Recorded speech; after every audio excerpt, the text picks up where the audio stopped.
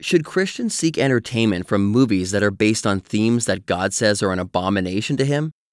Many Christians soak themselves in movies like Harry Potter and vampire sagas, movies that are centered around occult practices that God says are an abomination to Him. Can Christians be entertained for hours on end by such movies without it impacting their spiritual lives? Without grieving the Holy Spirit and reducing the power and effectiveness of their Christian lives? Are movies and shows like these just mere entertainment, or do they promote the occult to unsuspecting people in subtle ways? Let's look to find out. First, let's explore what the Bible says about occult practices. Ephesians 6 states, Put on the whole armor of God, that you may be able to stand against the wiles of the devil. For we do not wrestle against flesh and blood, but against principalities, against powers, against the rulers of darkness of this age, against spiritual hosts of wickedness in the heavenly places. So apparently there are real principalities, powers, and rulers of darkness are these on the radar of most Christians today? Exodus 7 records that Pharaoh's magicians were able to turn their staffs into snakes, turn water to blood, and summon frogs, possibly using illusions or deceiving power from Satan. Jesus cast out numerous evil spirits. So did his disciples under the power and authority he gave them. Paul cast out demons, including one from a girl who foretold the future by its power.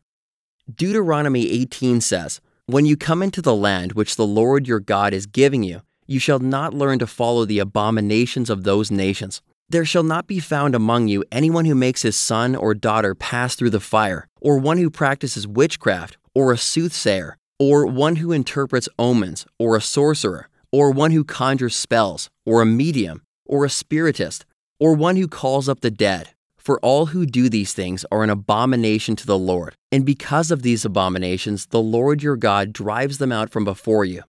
It just so happens that all eight of these practices are well represented in the Harry Potter series. For Christians wanting scriptural support for being entertained by occult themed movies, plays, or books like Harry Potter, here's a list of supporting Bible verses. On the contrary, the Bible goes so far to say that we should not even listen to those who practice the occult. Wait, doesn't the Bible prescribe grace so that what some might find offensive, others might find as innocent entertainment? Well, not really. These verses deal with dietary convictions and the observance of certain holy days, not even close to being entertained by content that God calls an abomination. Next, let's look at occult practices today. Witchcraft is one of the fastest growing religions in the world. Surveys show Wicca had an average annual growth of 143% between 1990 to 2001, and experts report that it's the fastest growing spiritual identification in America, with the number of Americans that are Wiccans doubling every 30 months. Even Newsweek is picking up on this. Police departments nationwide now even have detectives assigned to finding and prosecuting satanic ritual abuse crimes. Dr. Dawn Perlmutter is a ritualistic crimes expert who trains law enforcement officers to identify and solve these difficult cases. A Pennsylvania woman says she has killed at least 22 people from Alaska to North Carolina in the last six years as part of her involvement in a satanic cult. Numerous people are incarcerated for these offenses. Many more seek healing from its effect in their lives. Just how did we get here? Perhaps one reason is the heavy occult push of TV shows and movies. The Hollywood entry into the occult started in the 1960s with the show Bewitched, but it wasn't long before we were bombarded with the Witches of Eastwick, The Craft, Practical Magic, Sabrina the Teenage Witch, a show so close to the real thing, it was even caught up in a legal battle with the Satanic Temple for its use of their satanic Baphomet symbol. Buffy the Vampire Slayer, Charmed, the originals, and many others. Let's not forget all the vampire movies that were box office hits and the Vampire Diaries TV show. It's also remarkable how the influx of these shows has normalized the occult to the point that public school reading programs are now saturated with occult content. Harry Potter books have been on the bestseller list for many years running, with leading public textbook distributor Scholastic. Yes, the largest publisher of children's books in the world is distributing repackaged witchcraft to millions of school children. But isn't all this occult emphasis in media just for show and thrills? Something interesting to base a good story on. Actually, Hollywood is soaked with the occult. consider Angelina Jolie's experiences. Next, look at a couple NFL halftime shows drenched with occult symbolism. First of all, it's the Super Bowl. I mean, the Super Bowl is kind of like the holy of holies in America, right? so, like, here I am. I'm gonna come into the like the halfway between like the, the, the church, the church experience, and I'm uh-huh. gonna have to deliver a sermon. It's going to be have to be very impactful. It really shouldn't have been much of a shock to watch Madonna steal the stage for the Super Bowl 46 halftime show as she rode in upon her Illuminati throne. Aside from dancing alongside depictions of Baphomet and a fallen angel, this halftime show performance also had its fill of subliminal messaging. But the real focal point of this Illuminati ritual for me was during the closing song, where Madonna took the stage with the gospel choir standing before the Illuminati all seeing eye and openly worshipping Lucifer when she sings her famous song, Like a Prayer. Switching gears from blatant witchcraft and satanic rituals to the seemingly mundane by comparison performance in 2013 when Beyonce took the stage at the Super Bowl halftime show. Despite flashing the Illuminati hand sign or the giant illuminated eye taking center stage during the final number. This relatively tame halftime show performance showcased one of the Illuminati's and Hollywood's darkest agendas. I raised my hands up, and it was kind of the first time I, I felt something else come into me. Closing out our list is the Queen herself appearing in the 2015 halftime show, Katy Perry that's how I got introduced to the music industry. Is I swear I wanted to be like the Amy Grant of music. Yeah. but it didn't work out, and so I sold my soul to the devil. Katy Perry has dabbled in a little bit of everything. So when it came time to choose a musical artist to represent the Whore of Babylon, Katy Perry was undoubtedly the obvious choice. Dressed in flames to represent a phoenix, Katy Perry took to the checkerboard stage where the pieces for the ultimate Illuminati halftime show fell into place. Capping off both ends of the performance representing the light of Lucifer, this Freemasonic ritual went right under the noses of the general public. Occult hand signs and symbols like the covered eye, the triple six or 666, taken from Revelations 13 as the number of the beast, or Satan's number, and satanic horns are commonly displayed. The all seeing eye, the symbol of the sun god Lucifer or the eye of Horus, who is Lucifer in Egyptian satanic mysteries, is frequently shown. Even the satanic pentagram that has been used for centuries in satanic churches is now proudly displayed in many movies, including some of the latest Harry Potter Fantastic Beasts movies. Harry Potter star Emma Watson proudly sports satanic signs, and Daniel Radcliffe recently starred in a movie called Horns that's full of occult symbolism and themes. Next, let's turn to Harry Potter specifically, not to single it out, but because it's one of the leading movie franchises in history, and one that is openly based on occultic themes. Over the last 20 years, over 500 million Harry Potter books have been sold, the movie series has grossed over $8 billion at the box office. The entire Potter franchise, with all of the books, films, theme parks, tours, theater shows, and toys, now exceeds $25 billion. Consumer research shows that over half of all the children between the ages of 6 and 17 have read at least one Harry Potter book, and 25% of Americans have seen all of the movies, and 61% had seen at least one. Does Harry Potter stir up interest in witchcraft? That's certainly what Ed Hubbard thinks, the guy who founded the Witch School that has campuses in Illinois and Massachusetts. J.K. Rowling created a phenomena that brought magic to the forefront of human thought and unwittingly reopened a new round of ancient battle Christianity's battle to destroy witchcraft in all its forms. Harry Potter has rekindled interest in beliefs that were already growing in the United Kingdom and the United States for more than 50 years, and that belief is a faith called Wicca. Film producer Warner Brothers admits that the first Harry Potter movie was an accurate portrayal of witchcraft, and even the author herself claims that one third of the material was drawn from real witchcraft practices. A new exhibition at the British Library in London reveals how she relied on the real history of magic and alchemy to create her wizarding world in Harry Potter. I think what I'm hoping people take away from the exhibition is that there's this huge, rich historical history of magic and folklore that kind of lies behind the Harry Potter books, and that a lot of things that they might have thought were imaginary are, actually based on fact. So the idea about bezoar stones, they can come and see a real bezoar stone, they can come and see alchemical manuscripts describing how to make the Philosopher's Stone, they can see Nicholas Flamel's tombstone, and hopefully they'll be really inspired by that and inspired by the history in the stories and understand that J.K. Rowling knew huge amount about sort of the mythology, the folklore, and the science and the and the magic behind the stories that she, she incorporated very lightly into her stories, which gave them a huge amount layers of, of depth and interest. So at the moment we're in the divination room. Uh, this is my favourite room in the exhibition, and I think divination uh, is kind of treated with a bit of humour in the books and uh, as if it's not too serious a subject. But I actually love the kind of historical accounts of it and all the different ways that people have tried to work out what's going to happen in the future.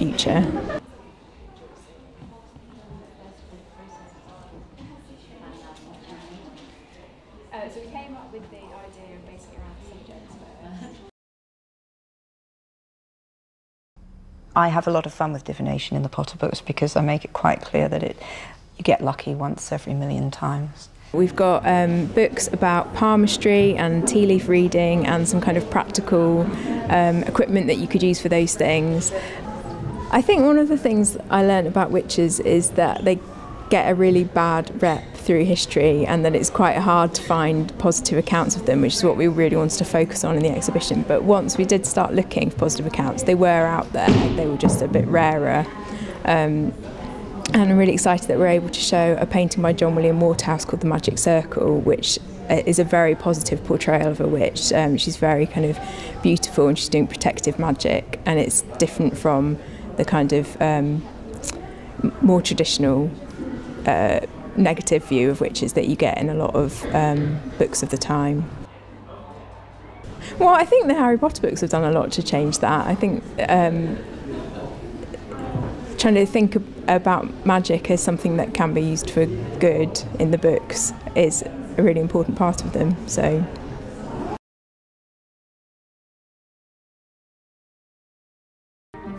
Witches and wizards in the Potterverse, they are morally neutral. You are as good or as bad as you decide to be. There's nothing inherently wrong about performing magic, it's simply a, an ability that some people have. Harry Potter books and films are full of magic, witchcraft, and wizardry. The lead roles are played by wizards, witches, and other magical creatures. Unlike other fantasy children's stories that contain witches and the like, such as the Chronicles of Narnia, the Harry Potter books do not have a positive biblical worldview. The distinction between good and bad can become blurred as both the good and evil characters participate in different types of witchcraft and magic witches and wizards in the Potterverse, they are morally neutral. You are as good or as bad as you decide to be. There's nothing inherently wrong about performing magic, it's simply a, an ability that some people have. The Bible clearly condemns all kinds of witchcraft, sorcery, and spiritism. In fact, there's not a single instance in the Bible where the occult is represented favorably or as acceptable fantasy or entertainment. Further, Potter movies include dozens of references to real life, nonfiction places, persons, and occult practices that make it vastly different than other movies. Does every Christian develop a fascination for the occult after watching Harry Potter? Certainly not. Do some? Yes, absolutely. At least that's what the official Wiccan religious organizations are saying.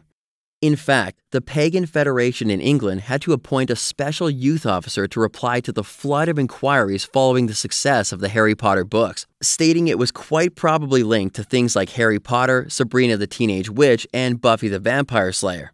According to this London article titled Potter Fans Turning to Witchcraft, the Pagan Federation deals with an average of 100 inquiries a month from youngsters who want to become witches, and it claims it has occasionally been swamped with calls. So, what's the problem with Harry Potter? As we see it, there are several. First, there's the fundamental issue of seeking entertainment from movies that are based on content that God calls an abomination. There was a strong reason that God wanted to drive out such practices from his people, and we doubt his views have changed. Next, non Christians and Christians with shallow roots are likely to be swayed by these influences to explore occult practices, entering directly into what God calls an abomination. In the words of ex occultist Stephen Dollins, here is Satan's plan You whet the appetites of children who are confused and not quite grounded in family morals, values, and standards, and introduce them to Harry Potter, a boy wizard who learns and practices the art of witchcraft and sorcery. You then bolster their interest in these practices and instill in them the idea that there is no good or evil, only magic, and that it's okay to practice witchcraft because it's a moral, wholesome thing to do, as well as the fact that you will receive a reward from it. Finally, when their interest in these practices is at its highest peak, offer use of the internet, which is exploding with information that is theirs for the taking. Teach them how they too can be just like Harry Potter. Just because a book is fiction, does this mean it has no effect on its readers? The sober reality is that fiction is a powerful communicator of ideas that influence both thought and behavior. With the leading book publisher in the US flooding students with Harry Potter books, it's not surprising that there is such an increase in those joining in the practice of witchcraft and magic arts. The internet is full of kids attempting to develop their spell casting abilities. There are untold numbers of people who are rooted away from exploring Christianity and its truths because their fascination is captured by occult based movies. We also believe that all Christians who soak in these movies are, at a very minimum, desensitizing themselves to occult themes, relegating them from actual satanic forces to the places of harmless entertainment, not knowing the extent to which the enemy uses these movies to lead people astray. Movies like Harry Potter desensitize people to the reality of the occult, shifting evil to the place of myth, fantasy, and entertainment we guarantee that people would think twice about enjoying a Harry Potter movie after observing actual satanic ritual abuse, a practice that goes on more often than most know about. If the occult is all just fantasy, then why does the Bible condemn it so strongly? God's word certainly doesn't endorse the fake or fantasy kind either. For some grounded Christians, the effects may seem to be minimal. However, they can do something just as bad they can reduce their effectiveness for living powerful, faith, and spirit filled life. If Scripture tells us to strive to be full of the Holy Spirit and not to grieve the Holy Spirit, it's logical to conclude that our actions and lack of actions play a part in the same. Scripture says repeatedly that we should be filled with the Holy Spirit. Is this going to happen by saturating our minds and hearts with occult themed movies like Harry Potter? The Bible also admonishes that we should not grieve the Holy Spirit. Can we grieve the Holy Spirit without even knowing it? While God Himself is the one who fills and the one who is grieved, we certainly play a part by protecting our vessels, the very container He wants to fill and empower. The prophet Ezekiel warned us against occult practices that can actually drive God far away from His own sanctuary. Today, we are that sanctuary, the temple of the Holy Spirit. The Bible says that we should have nothing to do with the fruitless deeds of darkness, but rather expose them. Psalms warns us not to set anything wicked before my eyes. Deuteronomy cautions us not to even bring abominations or detestable things into our houses, but to destroy and abhor it. Thessalonians cautions us to examine or test everything carefully, hold fast to that which is good, and to abstain from every form of evil. Leviticus 20 states and the person who turns to mediums and familiar spirits to prostitute himself with them, I will set my face against that person and cut him off from his people. And continues by saying that we should consecrate ourselves and be holy and keep God's statutes, because he is the Lord who sanctifies us. Finally, Ephesians says that we should have no fellowship with the unfruitful works of darkness, but rather expose them. Would Jesus watch hours of Harry Potter movies? Especially given his active ministry against demonic oppression of his day? What should you do if you feel like you've already crossed over the line, gone too far? Fortunately, with God's power, the solution is simple. First, expunge these movies and paraphernalia from your life and home. Next, repent, asking God to cleanse your life and your mind, will, and emotions from these things. Next, replace these with things that are true, noble, just, pure, and lovely, and meditate on these things. Focus on setting your minds on things above, not on things on the earth, and learn to not be conformed to this world, but be transformed by the renewing of our minds, so that you can prove what is that good and acceptable and perfect will of God. Acts 19 describes how God's Spirit convicted many who were practicing magic. They confessed their deeds and burned all their books, valued at 50,000 silver pieces. When I was younger, I enjoyed playing competitive paintball games. I'll never forget sharing some of my fun paintball experiences with a vet who fought in the Vietnam War. After trying to persuade him to come out to some of our battles, he grew quiet. Finally, he said, Why would I want to go reenact battle when I've seen the real thing? Friends, witchcraft is real. Movies like Harry Potter make it look like fun and games. It's not. It also lures many to directly or indirectly engage in practices that are specifically forbidden in God's Word, and for good reason. As Focus on the Family's Lindy Beam said, anytime the dark side of the supernatural world is presented as either harmless or even imaginary, there is the danger that children will become curious and find out too late that witchcraft is neither harmless or imaginary. The Bible says that these things are an abomination to the Lord, so why would you want to be entertained by them? If David said that he will set no vile thing before my eyes, so he wouldn't offend the Lord, why would you want to go watch hours of movies that promote and exalt the very thing that God says is an abomination to him? Are you a Christian student looking for answers about what the Bible teaches about creation, the fossil record, dinosaurs? Download the Genesis Apologetics app from the iTunes or Google Play stores for answers to these questions and more.